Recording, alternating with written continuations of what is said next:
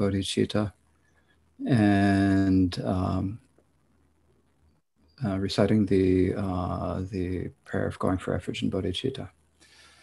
O sanje chedan sogi chonam la chancho bardo da ne chapsum je dagi jin sogi pe sonam je drola penjer sanje drobar sho sanje chedan Zogi chonam la chancho barado dani chapsum chi dagi jinso gi pe sanam ji Drola penjara sanje drobar sho sanje charam soji chonam la chancho barado dani chapsum chi dagi jinsogi pe sanam jim drola penjara sanje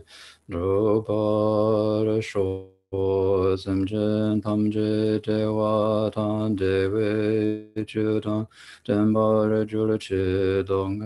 tan donga tan ji ju tan ra re ju ji Donga me be de wa tam pa tam min ra wa re ju ji Nye rin cha tan ni dan ra we Dan yun chen la ne pra ju ji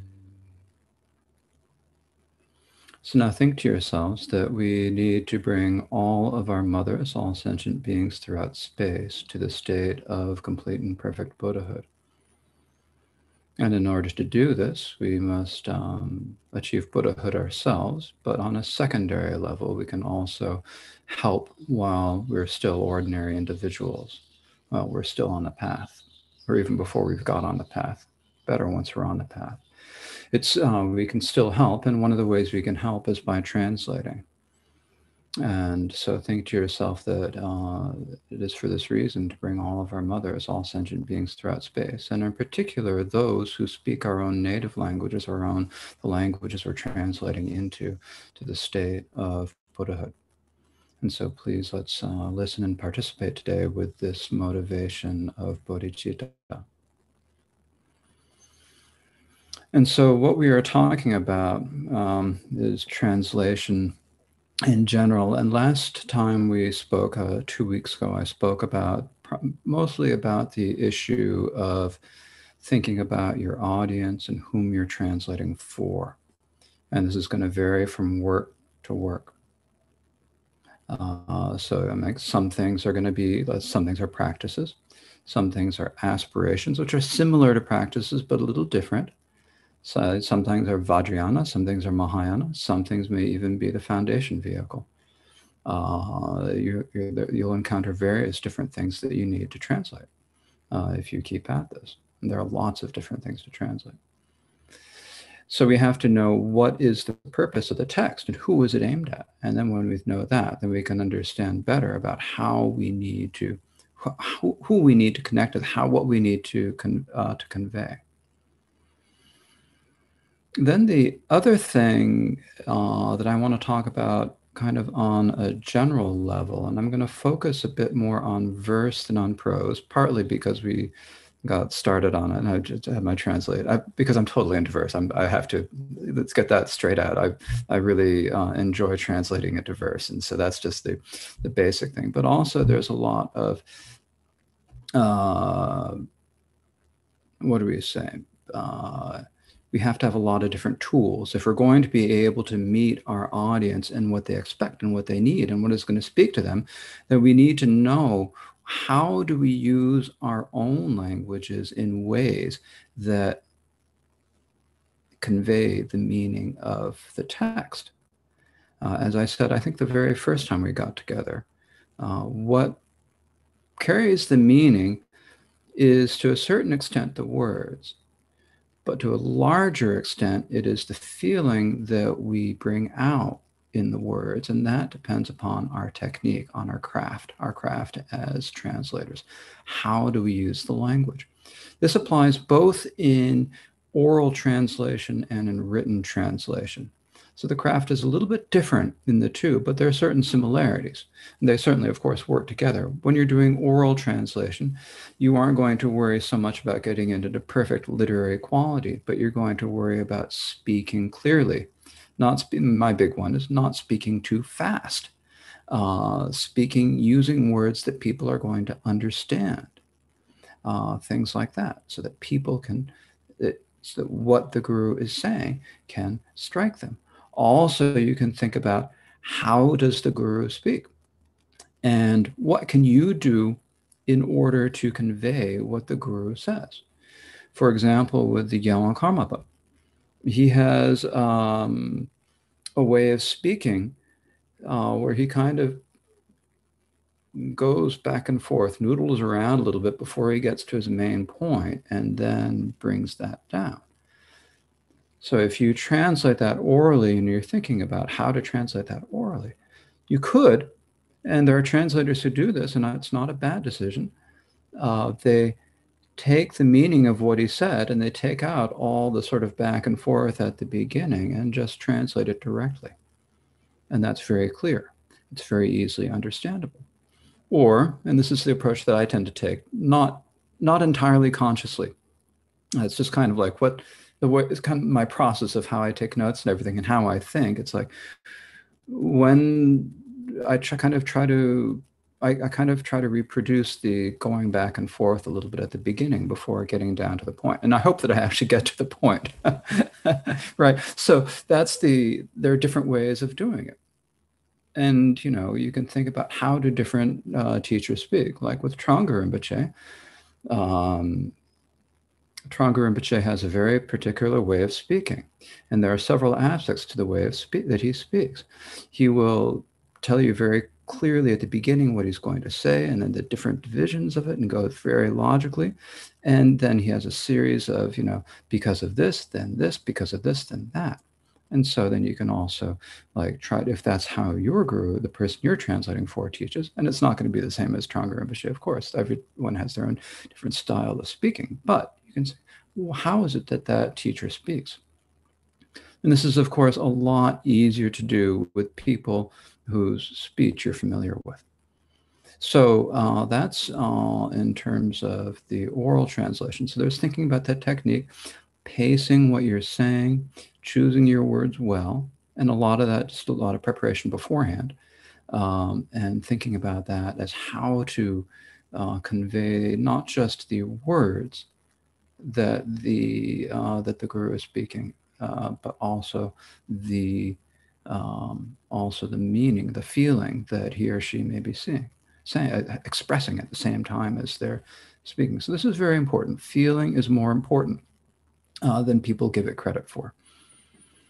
Um, I mean, on the one hand, I, uh, when it comes to your own feelings in terms of your practice, they're pretty much, you know, they're garbage. You shouldn't pay attention to them, even though it's hard not to do so. But when you're a translator, you're trying to provoke people's feelings in order to get them to understand uh, the Dharma. So part of that was so in written oral translation, I just sort of spoke about it briefly there, but in written translation, how do we do that? Well, we have to use the techniques that we have in like we have our, our languages have rich literary traditions. They give us a lot of tools and we can use them. Now we all have different uh, different ways of using language and people if different english speakers i have because of my own personal background and predilections i am uh, getting very i have been very interested in metered verse. Other people are interested in different structures of verse or whatever that's okay but you have to use consciously use the techniques the literary techniques that you have at your disposal and that work for you in order to convey not just the literal meaning of the words but also the feeling that comes with the words. Now another aspect of that is that you have to have a feeling or you have to be able to get the feeling out of the original. You have to be able to read Tibetan and get feeling out of it, right? So this means that you have to have uh, a certain degree of comfort. Now, I think that actually it's really helpful to start experimenting with this before you have a complete feeling for the Tibetan. And in fact, I have found for myself that there have been some things where like I've had a pretty good understanding, but I haven't really had a good feeling. And then you start, I start translating, I start working. Well, what's the feeling? I start looking at it, and then I look at it. Then through the process of translating, in some ways, is a way of getting uh, uh, to understand and know and to feel the Tibetan work, the Tibetan original better, right? So there's that aspect. Uh, so it's not like you have to okay, well, I have to get feeling. So therefore, I have to develop feeling of Tibetan first before I ever start translating. No, you have to work through it in whatever way you can uh, in order to get the feeling. Now, as I said, I think in our uh, in a talk, uh, the first talk we had, you got to read a lot. You've got to read as much you can as you can in different different genres of Tibetan, um, just so you can get you know, you can get uh, get a, a, feeling. I'm using this word all the time today. You get get a feeling of what the different uh, genres are. There are the like in within the Kanjura, there is the teachings in the Vinaya, which are like one sort of feeling, very very matter of fact, just like telling everything like it is. No embellishment, no matter how crazy the events that they're describing. It's just everything is like this is what happened. This is what happened. And then they re- and then the, the 400 frogs uh, died and reborn and, re- and became arhats in their next lifetime. And there's just it's completely straight. You know, this great miraculous event happening, and it's just completely almost like flat. But at the same time, it's not it's not really flat. It's just it's just no no embellishment, right? So that's one. Then there's the feeling of like the Prajnaparamita Sutras, what are the feeling what's the feeling of those? And actually it's different all the way through. If you start in life you're like you're reading the the boom you know the hundred thousand one uh one good thing about spending time as a monk in a monastery is that occasionally we have to do things like read the read the boom. And they give you you know a volume of texts. And they say okay you start reading and you just start reading as fast as you can because everyone else is going twice as fast as you. You're the you're the westerner. So you do what you can right?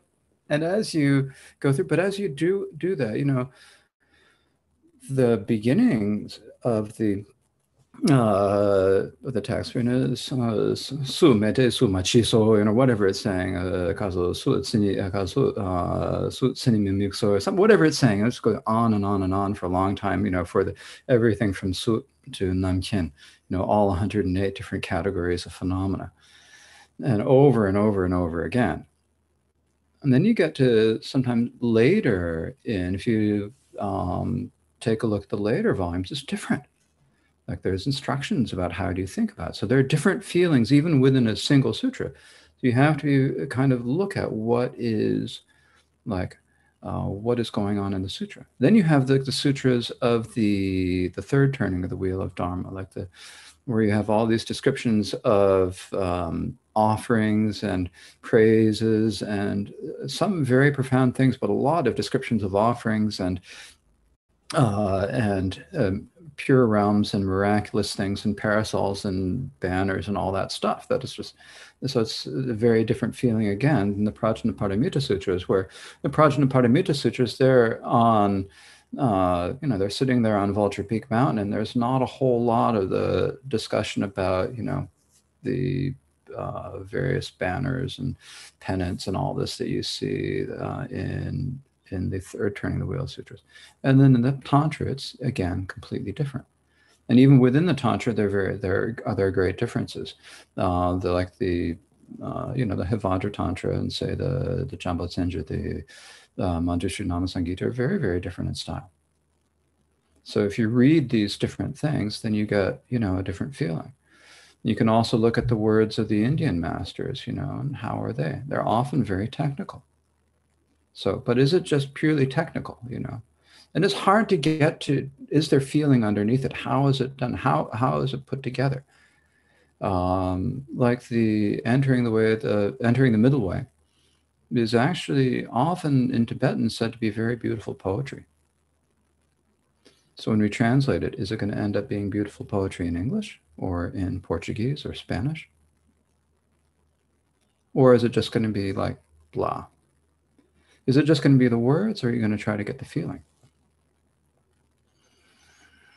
So, um, and, and then in Tibetan, it's very different. Tibetan, the, the, uh, I've, everything I've been speaking up till now has been primarily things that were originally written in Sanskrit or in an Indian, uh, whatever, some Indian language that was then preserved in Sanskrit or hybrid Sanskrit. When you get into Tibetan, then it's different. The Tibetan language is very different. Sanskrit is, it's not very close to English or Spanish or Portuguese, but it's an Indo-European language. The morphology is similar. And so it's actually kind of easier to bring things that were originally, I find it's easier to bring things that were originally written in Sanskrit into English because the, the, the, the source is different, is, is more similar. The, the way they're put together is more similar. When you've come to Tibet and you've got an entirely different set of problems because the fundamental language, eh, the, the morphology of the language is just totally different. The way they put the words together is different. And so they can put a whole lot of meaning in just a few syllables that we can't in English. So how do we deal with that? But you've got feeling and you've got rhythm. So how do you get that? How do you get that feeling? So um, to kind of go through here, let me where is that? Okay, I want to go. I want to go back and so I want to take a look here. Uh, this is again starting from a um, the conversation that we had last week or two weeks ago. We looked at this verse at the end, the Galdechus Yunani de la Migarchishi, Galdechus Menani de la Migarchishi, uh, Jechi Pens in Tibetan, right? So when we look at the Tibetan, now this is a Tibet, it's a translation from Sanskrit, so it's different than uh, than if it had been written originally in Tibetan. It's different than it would have been. They probably would have put it all on just two seven syllable lines if it had been written in Tibetan originally. but here it's on four lines. But if you look about what is it that's giving it its reason, its its its its feeling, it's like it's the rhythm.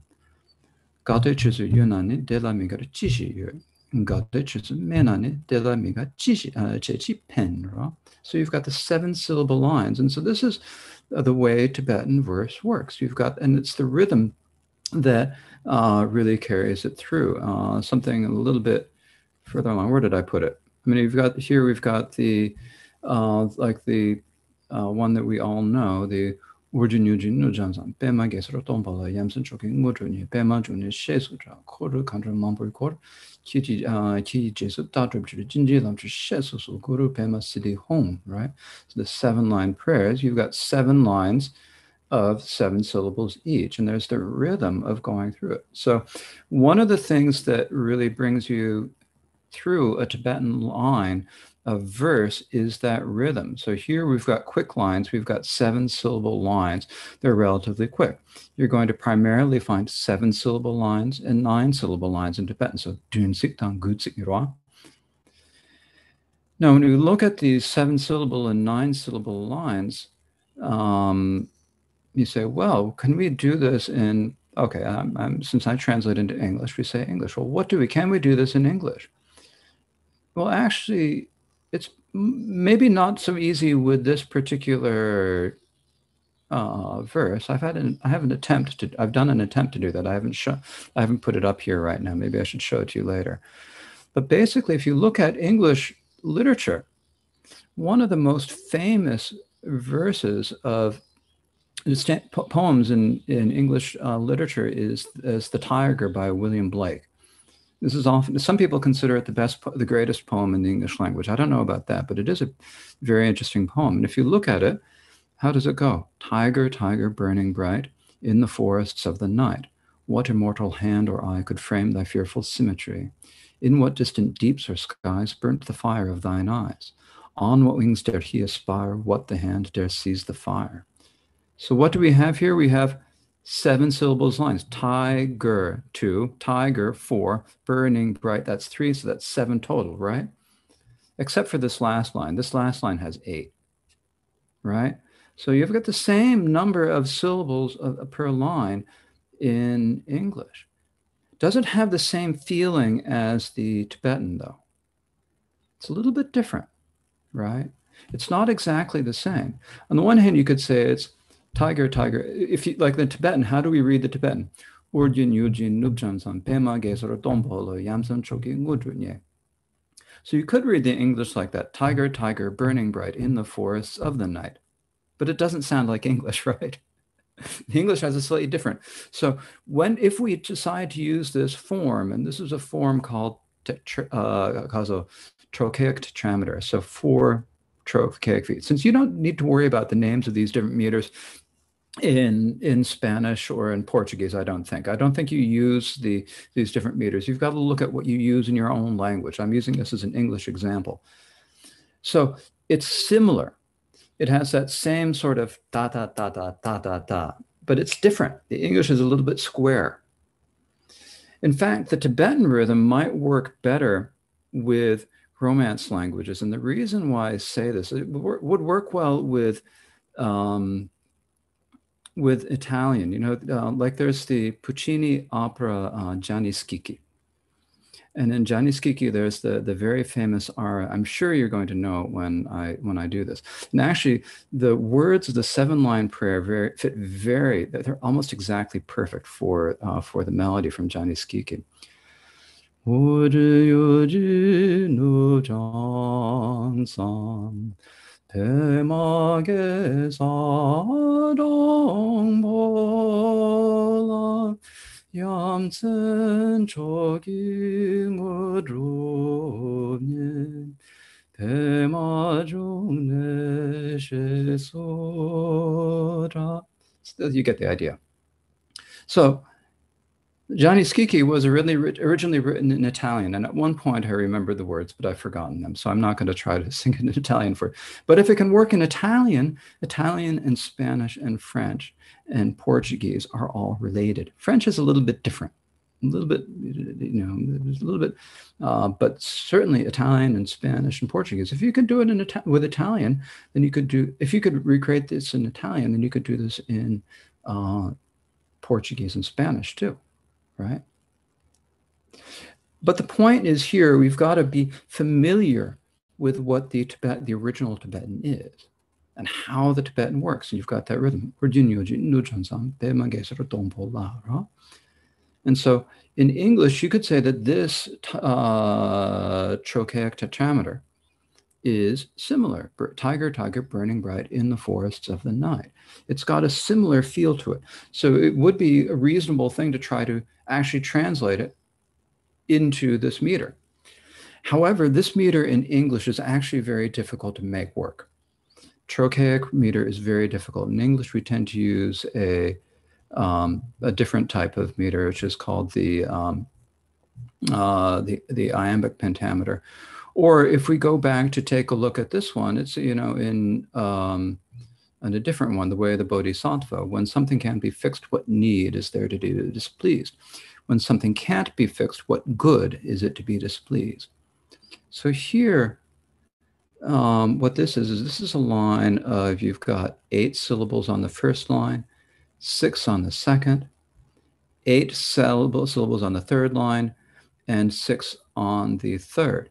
But it's not just in English, it's not just the number of syllables. We also have to pay attention to where do the stressed syllables, because English and German and Russian and a bunch of other Indo-European languages, you have some languages, uh, some syllables are stressed more than others, and so we have to. You you can play with the the rhythm of of the stressed versus unstressed syllables. So here we have unstressed syllable when, then a stressed syllable some, unstressed syllable thing, stress syllable can. If something can be fixed, it's like da da da da da da, right? So that's a more natural rhythm in English, partially because we always put the articles before nouns, right? So have, it, it helps us. Anyways, it just matches the rhythm of English better. And this meter here is actually the meter from uh, of what we call a ballad meter or common meter. It's got a bunch of different names. And so here I want to show you an example. First, the Rime of the Ancient Mariner by Samuel Taylor Coleridge, and I'll show you the first four stanzas. It is an ancient mariner, and he stoppeth one of th- three. By thy long grey beard and glittering eye, now wherefore stopp'st thou me? The bridegroom's doors are opened wide, and I am next of kin. The guests are met, the feast is set, mayst hear the merry din. He holds him with a skinny hand, there was a ship, quoth he. Hold off, unhand me, greybeard loon, eftsoon his hand dropped he. He holds him with his glittering eye, the wedding guest stood still, and listened like a three years child, the mariner hath his will. So here, this is a this is a meter that was very popular in the what we call ballads, like the Scottish folk songs from the 17th, 18th, 19th centuries. And, and Samuel Taylor Coleridge used this meter all the way through uh, the, the Rime of the Ancient Mariner, which is a fairly long poem. Uh, it's probably probably similar in length to the Way of the Bodhisattva. It's uh, maybe no, maybe half the length of the Way of Bodhisattva, a few hundred stanzas. But if you look at it, it's all got that same rhythm. Rhythm. It's it, it is an ancient mariner. So they've got four stressed syllables on the first line, three stressed syllables on the second, uh, four stressed syllables on the fourth, third line, and fourth stress, and three stressed syllables on the on the fourth. And it's the same in every stanza throughout the entire poem.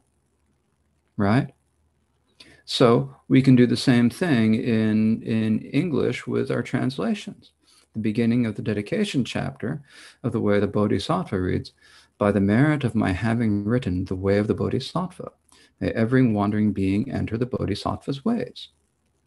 And if you're to go back and forth between these two translations, between these two works, it would sound on a rhythm, rhythmic level, it would sound like almost exactly the same thing. It is an ancient mariner, and he stoppeth one of three by the long gray, gray beard and glittering an eye. Now wherefore stoppest thou me? By the merit of my having written the way of the Bodhisattva, may every wandering being enter the Bodhisattva's ways. The bridegroom's doors are opened wide, and I am next of kin. Right? The rhythm is the same. So I'm taking an older English form, traditional English verse form, and using that in the translation, not to recreate, not to replicate the original Sanskrit or the Tibetan translation, but to try to give that feeling of structure that you have in the original in English, right? Because when you have that feeling of structure, what is it that carries the, the feeling uh, or what is it carries the feeling? It's kind of the rhythms, the feeling, the pacing of the words. It's just the pacing as much as the words that you cho- choose. Now, the words that you choose have a um, have a uh, uh, have a great effect on the pacing and on the feeling that you're going to be able to um, actually uh, uh bring uh, create. It's because uh, the words are mm, what do we say? You know the, the words fit have to fit. You have to make the words fit in what you're doing. But uh, you have to remember what what are we trying to do? We're trying to convey the feeling of the original. So to convey the feeling of the original doesn't mean that you need to take okay tibetan has seven syllable lines therefore i need to translate into seven syllable lines in portuguese. Good luck. It's hard it's possible. You may be very clever and may be able to do that. And if you want to try, excellent, go for it. and in fact, you should try. you should try, you should experiment. You should see what can I do? But you have to go back and you have to look and see what is in the literature in my language. Now, for i mean in the united states the second most common language is spanish and i never learned it. I'm sorry. And portuguese i have even less. I mean there are actually a lot of portuguese immig- immigrants to the sea seacoast areas not far from where i was born but you know and i had a i had a i had a portuguese step grandmother uh, but she passed away before i was born but I still, you know, I never developed a feel for it. And I know nothing about the literature in Spanish and Portuguese. In French, though you would look at like the works of, you know, like Jean Racine, seven, 16th century, 17th century. You would look at um, Baudelaire, Paul Verlaine, um, You could look at Mallarmé. I'm not sure if that symbolist style, it might not, might work. But you, well, the point is, you have to look at the literature. So read not just the contemporary poets, but you have to look at the look at the classics. And the reason why you need to look at the classics is that they have the technique. You look at that technique and what do they do, and you read about poet. How is po- how does poetry work in Spanish and French and Portuguese? What do people do? What are the techniques that people have? What are the meters or the rhythms that people use? You have to learn these and think about them. Then you have to look at how people deviate from those. What what flexibility do you have in uh, doing in, in playing them in, in, in the meter? Where can you break the rules? Where do you keep the rules? How do you bend the, the your words to match the form? And so this is what comes up in classical uh, things. And so, as an exercise, at the very least, you should try doing the classical forms of your in your own negative language. So in French, that's primarily going to be be the Alexandrine, right? But there are other meters, I'm sure. I can't imagine that every French poem that was ever written was written in Alexandrine. There are other meters, and so you should experiment with those and see how they uh, were also put together um, because it's by uh, doing that that you're going to get kind of a feel for what can you do in your language. The other point is that when you have a form that you're working against, it actually gives attention to the line. Where do you break the line? In like an in an Alexandrine, you have a, a caesura in the middle of a line. So what words can you put right before a caesura? How do you how does that match with the meaning? This is all very difficult. When I was in seventh grade in French, we had to uh, memorize a poem by Paul Verlaine, and my pronunciation is terrible, um, but I'll amuse you with it anyways. You know, it's like, uh, what is it? Il pleure dans, ma, dans mon cœur comme il pleut sur la vie. Quelle est cette langueur qui pénètre mon cœur? That's about all I remember. How does it work? Il pleure dans mon cœur comme il pleut sur la vie. So you've got a line of 12 syllables. Il pleure dans mon cœur. And you've got a pause. Comme il pleut sur la vie. Quelle est cette langueur qui pénètre mon cœur? Right? Now, also in that second line, you've got the sound. Quelle est cette langueur? Right? And then you've got the qui pénètre mon cœur. Au bruit, au bruit doux de la pluie par terre et sous les toits. that's all. That's that's really all I remember, right? But so how does it work? When you're working in French, how does it work? And I can't do the same in Spanish or Portuguese, but look at your own literature and see. And uh, isn't Cervantes also a great poet in addition to a great novelist? You know, so look at Cervantes, right? Mm. And then also, but you should also look at the at the at the prose too, and see what the prose style is like. Like for example, Gabriel Garcia Marquez was, I mean, his the uh, Hundred Years of Solitude. I don't know what it was called in Spanish. I'm sorry, I read it in English translation.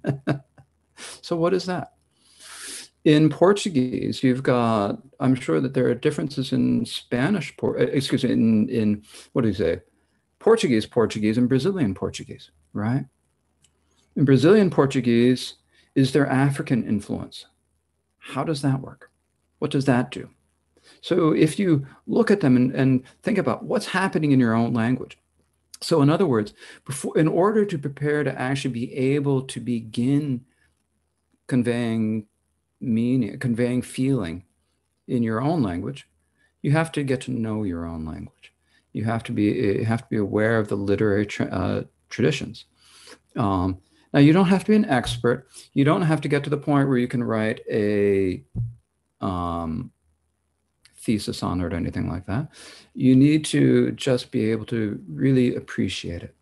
If you have the feeling like you can read a poem in your in your native language and say, "Oh, that really that really struck me," and then you can look at the poem and say, well, "How did it strike me?" Right? That's that's what's going to really uh, help you um, uh, do this uh, to, to get the feeling. Now, when we, let's see, another, uh, let's see. So one, and, and then the other thing you can do is you can start, um, what do we say? You can start practicing on how to, how to uh, do all this. And in practicing this, one thing you can do is take a look at the um, uh, what do we say? Take a look at the common types of poetry in your language. So here on this page, which I'm showing you now, the, at the top, uh, the um, beginning of the, uh, the first two stanzas are from a poem by Robert Frost, who was a um, early 20th century poet, first half of the 20th century, really. Actually, he, he was writing poetry into the 1960s. Mm, he grew up in, or he he was active in the area where where I grew up. And when I read his poetry, it's almost like I can hear my grandfather speaking. Just the, the way he the way he speaks, the way he uses it. Now, of course, some of the words are old and words that I've never I never heard my grandfather say the word queer. But the sort of the the the rhythms in that you can get the feeling because it's that region. So you might also find this in your own language. Well, I mean, like in Spain, there are different great differences between the different languages that you get in the different regions.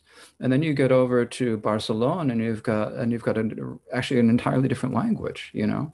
So how do you what are the feelings of those in different uh, uh, different different languages? At any rate here so this is kind of a, a very straight example of very very straight iambic tetrameter. So four feet of two syllables or eight syllables per line Whose woods these are, I think I know. His house is in the village, though. He will not see me stopping here to watch his woods fill up with snow. My little horse must think it queer to stop without a farmhouse near, between the woods and frozen lake, the darkest evening of the year.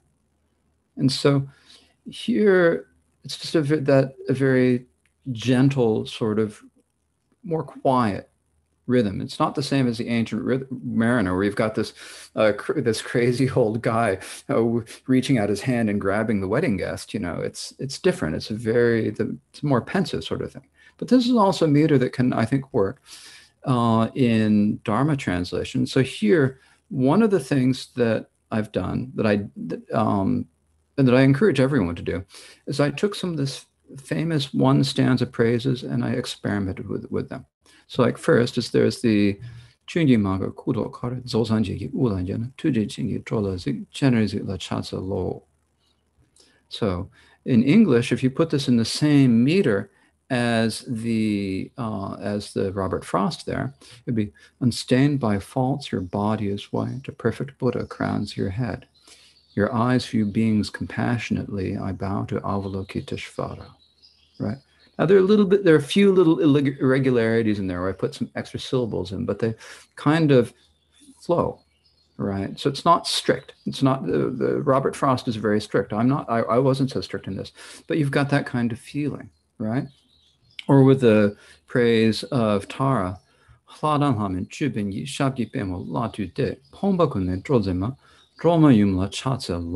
so the gods and demigods bow down their heads to before her lotus feet. I prostrate to the mother Tara, who frees us from all deprivation. So again, you've got that same rhythm.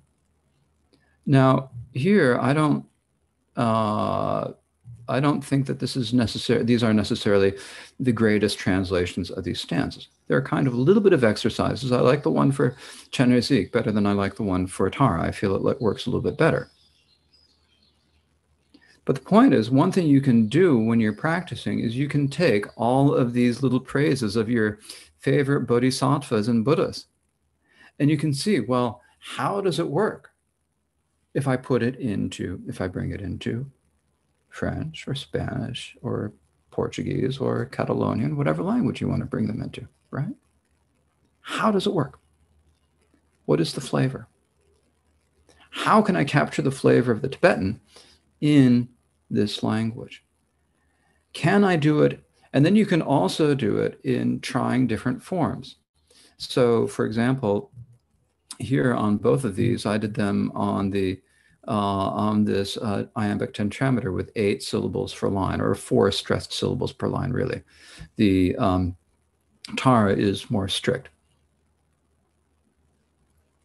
So, what if I wanted to do them with a 10 syllable line? How would it work? How would it be with a 12 syllable line?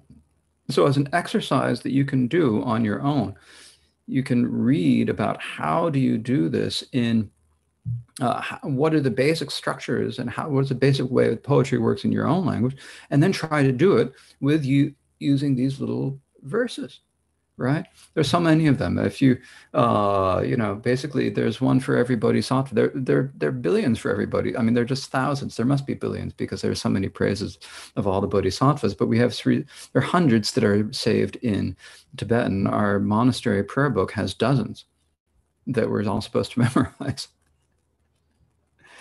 So that's uh, another way of thinking. So that's actually kind of uh, what do we say? Uh, that's kind of a. Uh, I'm getting distracted. Um, th- that's just sort of a general idea of how you can uh, work with, work with it. Just trying to experiment with things. So that's what these praises. Now these praises are short, but another problem comes when we're doing things that are originally in Tibetan. And so here um, is a different uh, set of problems. And this is the beginning of the white parasol practice by Karma Chakme. Actually, it's the beginning of the part that you chant. Um, there's a there there's a long bit of uh, Yikchung before it, but this is the beginning of the part that you chant. And so here we've got in the Tibetan we've got ah chuna masam jume tomba ni om yitsembe dukar yongyur le jenso tamye erme rani ne right? So here, it's very, very dense. And in thinking about how do I bring this into English, in English, if you just sort of start out translating the meaning and you put it on four lines, it's going to, each of the lines is going to be very, very, very long. So I thought about it and decided I'd try to put them on each line of Tibetan on two lines of English. And the lines in English are a little bit shorter than the lines in Tibetan. The lines in Tibetan are the gutsi, right, the nine syllable lines. The English lines are uh, two, two, two lines of eight syllables uh, or eight or nine syllables. There are some irregularities. Um, but otherwise, there's just no way that I could fit it. Actually, uh, when I was do- we were doing this for the prayers uh, that we did back in when did we do those in January? I'm kind of losing track of what we did when. Uh, so in January we had these prayers of the of the Karmapa, and he translated this into uh, Chinese at the same time, and he also actually translated it on the each line of Tibetan onto two lines in Chinese. So uh, I figure we're we're in good uh, you know uh, uh if, if his holiness could do that so can i. There's some things his holiness can't do can do that i can't do but if he can do two lines of verse for one line of tibetan then i can do the same in translation. I'm not going to try to imitate him in everything else that he does but i'm not ready for it all but two lines i think is okay then. And so here you know in the english phenomena or emptiness transcending speech thought and description a nom marks a white parasol which transforms and becomes inseparable wisdom and samaya, complete unjust remembering. I myself become the body of Vajrashnisha, great repulsor. So, catching a rhythm. Now, there are irregularities here. I'm not being strict with it. And I don't think that it's necessary to always be strict uh, in doing the meter. But there is like an appreciation of how does meter work? How do you uh, uh, bring the rhythms of Tibetan into that? And so when you pay attention to that, then you can um, then you can actually uh, start to convey the feeling. So basically, what I'm trying to say, and I think that I mean I know that all of you are in kind of different spots in your in your trans you know uh, in your translation experience and so forth. And some of you have done more, some of you have done less, whatever. Um, and this might be something that you're not quite ready to translate to yet, at least not from Tibetan. Although you could try. because you can learn a lot from trying these things. It's actually very, uh, uh, you know, it's kind of like instead of, you know, spending your uh, day off, you know, doing crossword puzzles, you might as well just try translating a few verses. but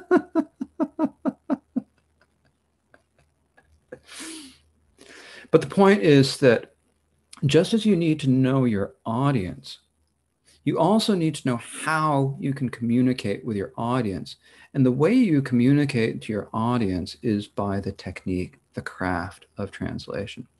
And part of the craft of translation that I've been harping on today is about verse. There's also a lot to do to deal with prose too. So you need to get you need to get familiar with your own language and the traditions of your own language.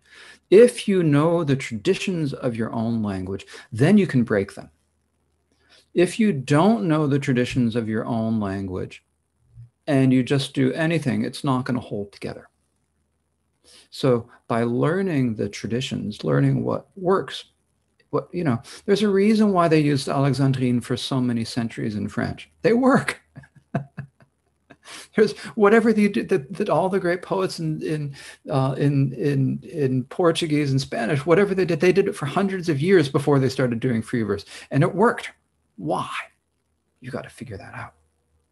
Then once you figure that out, then maybe you could start thinking about free verse. But free verse doesn't mean what I see a lot in a lot of translations is you take kind of you translate the meaning of the stanza in prose, and you chop it on four lines and call it verse. It's just if it's on four lines, it must be verse. No, if it's on four lines, it might just be like you decided to make it look like the Tibetan, but you didn't bother to actually do what the Tibetan, what the original does, right? It's we don't want that, right? But there is a tension because especially when you are beginning, there's a ten- tendency to try to fit what you're saying to the structure of the verse and bend what you're saying too much. And you end up with just garbage, absolute garbage. You will sound like this is going to sound horrible. You're going to sound like a 13 year old girl trying to write poetry. 13 year old boys are doing different things.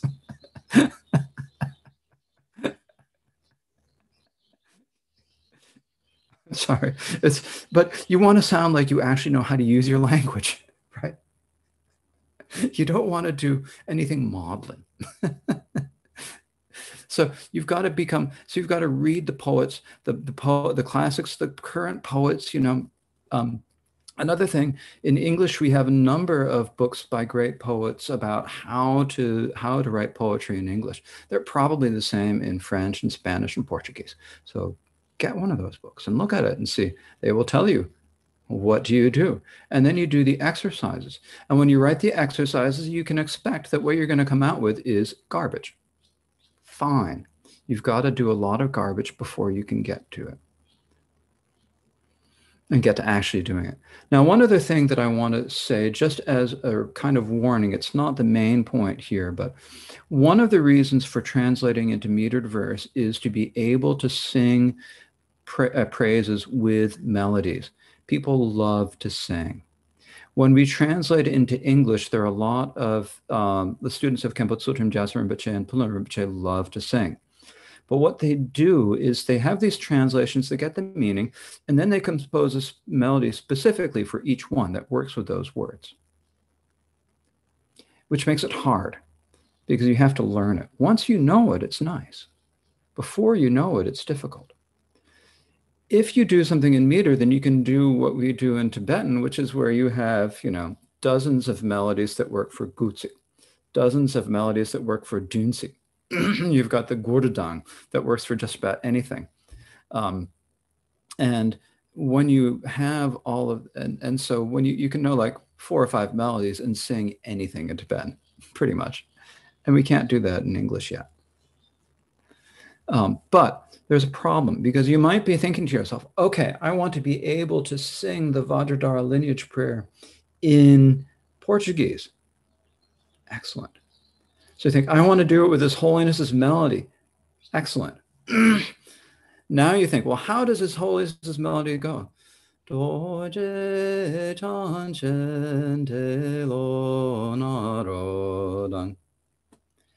And then what you do is you try to fit words and you've got the melody in your head as you are doing it. So you're thinking, I don't know, grande uh, vajradhara grande. I don't know. Just how, how little I know Spanish and Portuguese. So, so you're thinking in your head, how do I fit?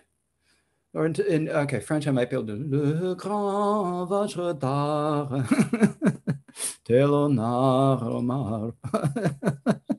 right?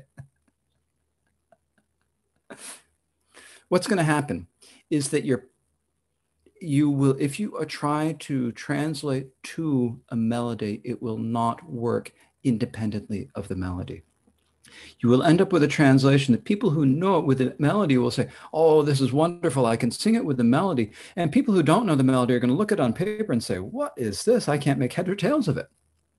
Right? You've got to so in other words if you want to be able to fit the melody what you to have something that you can sing you actually need to fit a meter.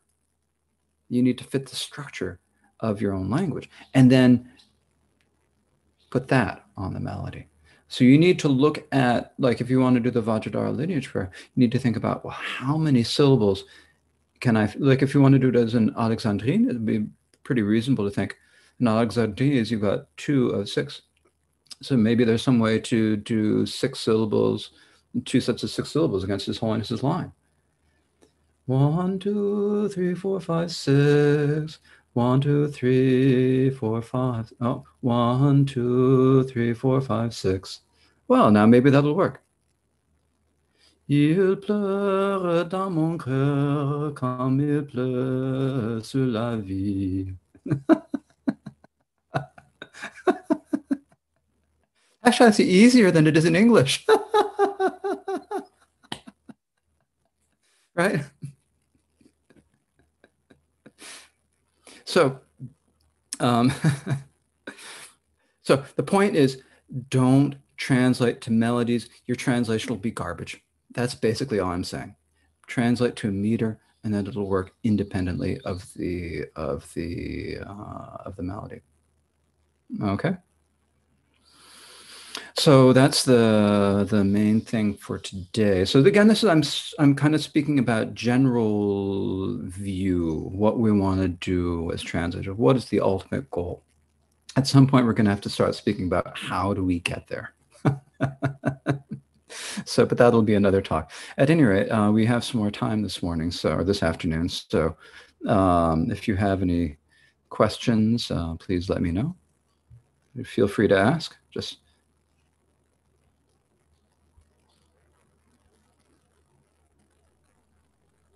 If no one else has a question, I would like to know because you were talking about the stress and unstressed syllables. Mm. So does that have the um, is, does that count more than actual number of syllables in English verse? Well, that's um, there are different ways to do English verse. Um, a lot of English verse is actually very strict to the meter. So let me go back and show you again here. Uh, where are we at? Mm, I want to show you this one by the one by Frost. Frost, right? So here, actually, his the whole poem is about sixteen is, is six six or eight stanzas long, and there is not a single irregularity in it.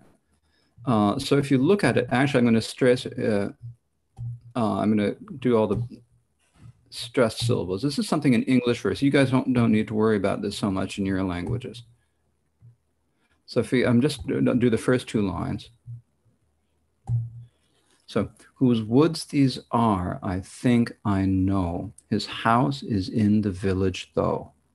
And there's not a single, for the entire poem, there's not a single um, uh, irregularity. Uh, he will not see me stopping here to watch his woods fill up with snow. So you can do the whole thing. Whose woods these are, I think I know. His house is in the village. No, though, of course, no one would actually ever read it like this. He will not see me stopping here to watch his woods fill up with snow. So this is one way of doing of doing it. And when you're doing in English, when you're doing this eight syllable, the iambic tetrameter, there are generally fewer irregularities than in a longer line. There are fewer opportunities to have the irregularity. It doesn't work as well. If you have a longer line, uh, let me take a look. So let me go down here. I had a few other things that uh, uh, that I put here that I didn't get to speak about. Let's, let's take a look at Dylan Thomas. Do not go gentle into that good night. Old age should burn and rave at the close of day. Rage, rage against the dying of the light. The wise men at their end know dark is right. Because their words have forked uh, no lightning, they do not go gentle into that good night. So here, the the um, the uh, stresses are different. Now he has the same number uh, number of syllables per line. So let me get the stresses here. So in this very first, um, actually here we got a lot of stresses. When you read it, do not go gentle into that good night. So do not. So here the stresses, you could say do not go gentle, but generally people in natural read as do not go gentle. So this is a comic te technique in uh, used in English poetry where you invert the first foot on a verse to go the other way around. Uh, the, the other verses, like the next one, old age should burn, old age should burn and rave at close of day. This one is a much, much more classic iamb right? So this is showing you, so um, there is a regular, there, so when you're doing this, now these are still counted as fairly, uh, as a fairly strict pentameter with these variations because they don't have any extra syllables. Um, when you go to, uh, if you look at the, at the Blake though, like Blake is different. It's uh, this tiger, tiger burning bright. Here we have, in the first line, you have tiger, uh, oops, not tiger, it's tiger. And again, you have tiger. And then burning. So here you've got, again, four syllables per, uh, four stresses per line. And the first syllable is stressed, the second is unstressed. Um, and that carries most of the way through, except for right here, we have this could. Actually, the stress falls right here on frame. Could frame thy fearful symmetry. And this is like one of the few um, irregularities of, of the poem. And actually, if we take it, the very last still, uh, there, are, there are a couple other stanzas in between, but the very last syllable, the last stanza is actually almost exactly the same as the first stanza, except he changes that one word that's irregular. Like that's a really brilliant thing to do. You've got your one, you've got two irregularities in the poem, and those are the one words that you change. Uh, so it's interesting. Like it's at the beginning, he's saying, "Who could make a who could make evil?" Essentially, and then he's like, "Like who would dare make evil?" It's a very different. What God would dare make evil? So it's a very different, um, interesting uh, thing there. So that's uh, a, a, an interesting use of an irregularity. Or if we go back to at the beginning, we have the ancient mariner. It is an ancient mariner, and he stoppeth one of three. Well, here we've got we got those, look, we got and he stoppeth one of three. We've got those, and, and this first uh, stanza, he's got these two uh, irregularities. So it is an ancient mariner, and he stoppeth one of three by thy long gray beard and glittering eye. So here, this is also kind of three syllables, but they sort of elide into two. And you see this, I know you see it in Italian. Um, when I was working in music, we, you know, the, working music typesetting in Italian, you can elide syllables. Uh, when you have two vowels at the, the a vowel ending a word and the next one beginning with a vowel, it's often elided. Um, so it's similar in English. Glitter, it not you wouldn't say glittering, you'd say glittering, right? Even though looking at it literally, it is glittering three three syllables. So uh, so you can. So when I do the uh, when I translate, I feel perfectly free to put in that same sort of irregular, uh, irregularity. I've got my elision right here. And another, another uh, extra syllable there. So here, you know, and I'm, I feel free to do more of these. I think part of it is that the rime of the ancient mariner is using a folk form, the ballad. And so in the folk forms, you're going to find a little bit more uh, room for irregularity. So in the way of the Bodhisattva, I'm kind of mimicking that. Um, and so I'm using uh, the irregularity here. But you have to be careful. Where do you put the irregularity? Does it really upset the line? Does it change the rhythm of the line? Because if you do the irregularity at the wrong place, um, it's just not going to work right? So you have to be very when you're doing irregularities, you have to be extremely careful about it. It's basically the the what do we say the the main point of it all. Um, but it's I think it's it's better to use a few irregularities. I would rather use some irregularities than end up sounding like I'm imitating 19th century verse. I don't want to end sound like you know someone like a 13 year old writing poetry.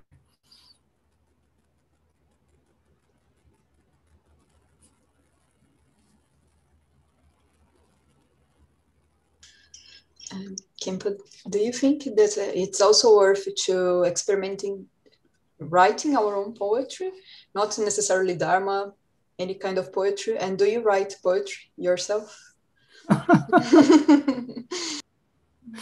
I write a few poems every once in a while. I haven't done too many. I mean, in the way of the Bodhisattva, at the beginning of my of my guide, I wrote a short poem. And the reason for that, now that's an interesting one in terms of writing poem. And I, when I when I write poetry, I tend to do it in different. Um, you know, I tend to use a more contemporary. Actually, it's not so contemporary. That's probably mid 20th century. It was contemporary when I was a kid.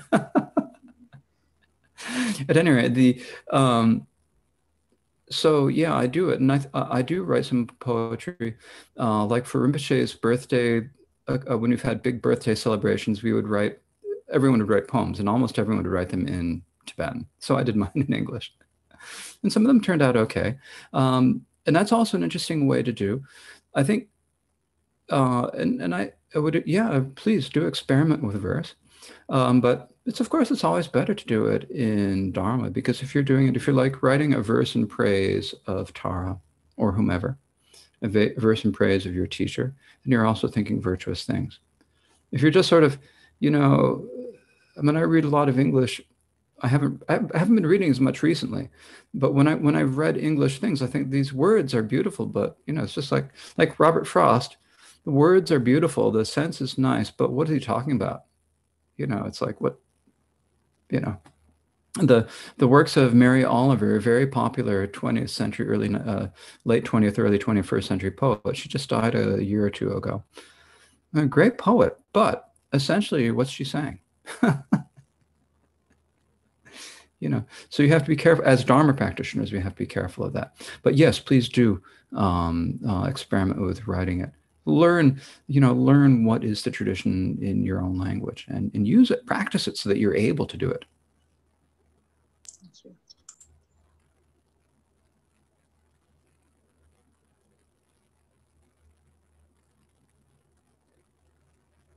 Okay. Is that about it for today? So we will do this again, I guess, in two weeks. Is that right? Um, so that'll be what is the 14th. We'll do it again on the 28th of May. And we'll think about how we, we can decide if, if how and whether what we should, we should, well, we'll think about what we need to do. If you have any, if you all have any questions or anything specific that you want me to cover, you should let me know. I'm happy to do that. So I've just kind of been talking in general right now. Maybe I should talk a little bit more about prose next time uh, because there are certain things that need to be covered in prose too. So uh, let's now uh, dedicate the merit of our discussing translation to the um, benefit of all sentient beings. Let's dedicate this so that all the Buddhas and Bodhisattvas and great beings uh, may live long, and their, their teachings may flourish and reach every sentient being. Let's dedicate this so that all sentient beings may uh, achieve the state of Buddhahood, and until then, uh, not experience any suffering and quickly um, meet spiritual masters and progress down the path to Buddhahood. And let's finally dedicate this so that we may be able to um, translate in ways that will bring the nectar of Dharma to people in languages that they understand. sunam di tamje sikbani topne nyebe janam tamje ne kyega nachi balong chupa i sibe tsole jokun nyudro sho. Okay, thank you. Thank you. Thank you very much. Thank you very much. Thank you very much. Very inspiring.